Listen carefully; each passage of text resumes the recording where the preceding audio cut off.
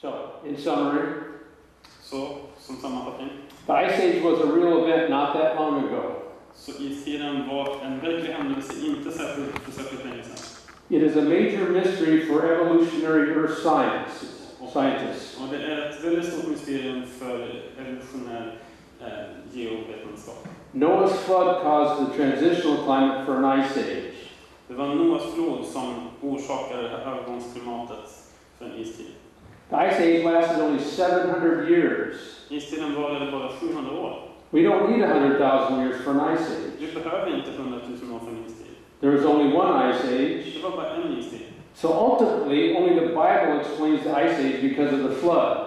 Alltså så är det bara Bibeln som kan förklara istiden på grund av floden. That explains my tile. Där det stängt. That explains my tile of my talk. Där det förklarar titeln på, på det här, eh, den här föreläsningen. And there will be no future Ice Age. Och det kommer inte bli någon framtida istid. A few concluding thoughts. Några avslutande tankar. The Ice Age is an example of what can be done with hundreds of other earth science challenges to the Bible. Istiden är ett exempel på vad som kan göra med, med hundratals andra sådana här utmaningar när det gäller geologin i Bibeln. Also, another thing, time is not a side issue, en annan sak, tid, det är inte bara någon sån här sidofråga. but a young Earth timescale sometimes is key to solving major mysteries that have been around for 150 years. Men den här tidsskalan som vi får i och med tanken på en ung jord är oftast ibland eh, som en nyckeln i att lösa de här mysterierna som, som vi har haft och kämpat med i de senaste 150 åren. How so? Varför? Well, they know that volcanoes cool the climate today, big volcanoes. De vet att stora vulkaner eh, kyler ner klimatet idag. But, and they know a lot of volcanoes went off during the Ice Age. I'm Sorry? They know that a lot of volcanoes went off during the Ice De Age. vet att det var många vulkaner vid istiden.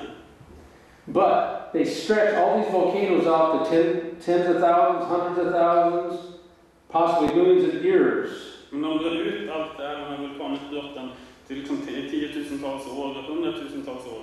So all this volcanism they see in Ice Age debris Så allt det här som de ser liksom, eh, i, i resterna från istid becomes insignificant in such a large, big time scale. blir obetydligt med en så lång tidsskala. But what if you telescope all that volcanism to within a few hundred years? Men vad händer om du tar all, allt det här, resterna från vulkanen pressar ihop det liksom, tänker bara några hundra år? It becomes a major cooling mechanism for an ice age. Då blir det en väldigt kraftig nedkylningsmekanism för en istid. Also for the woolly mammoths. Också för det här med, med mammutarna. They, they know that the, there's a lot of windblown silt De vet att det Mm. finns väldigt mycket så här vindburet eh, in Siberia. i Sibirien. But they stretch that out to tens of thousands and hundreds of thousands of years too. Men även det drar de ut till flera liksom, tusentals år. So each dust storm becomes insignificant. Så varje sån här liten sandstorm blir obetydlig. In some places in Siberia, there's 60 meters of this dust piled up. På vissa ställen i Sibirien så finns det 60 meter utav sand som är. So, but if you telescope all those dust storms within a few hundred years at the end of the ice age, Men om du bakar ihop det här till en, en, liksom, en enda stor i slutet på istiden. Becomes a powerful mechanism to explain the mysteries of the woolly mammoth. En enda blir som en kraftig mekanism för att förklara det här utdöendet av, av mammutarna. So the short time scale is key to solving the mysteries. Så den här korta tidsperioden är nyckeln för att lösa de här mysterierna. More concluding thoughts. The ice age is based on the flood.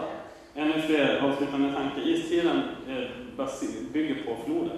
Therefore, the global Genesis flood, Alltså så är den här globala floden one of the most despised events by the culture, den som är en av de mest föraktade händelserna i, vår kulturs ögon. is a real event of the past. Är en verklig händelse i det förflutna. If we can believe the flood, if we have evidence for the flood, which there's actually a lot of it out there, Om vi har också en hel del bevis för, för översvämningen. And I'll tell you more about it tomorrow. Jag kommer berätta mer om det imorgon. Therefore, it is easy to believe the whole Bible. Därför är det lätt att tro hela Bibeln. not only the history but the spiritual aspects of the Bible, Inte bara historien, men också de andliga delarna av Bibeln. which tell us how to live here on earth and how to go to heaven. som berättar för oss hur vi ska leva här på jorden och hur vi kommer till himlen. And we need to read it and find out. Vi behöver läsa det. Oops, don't want that. And that's the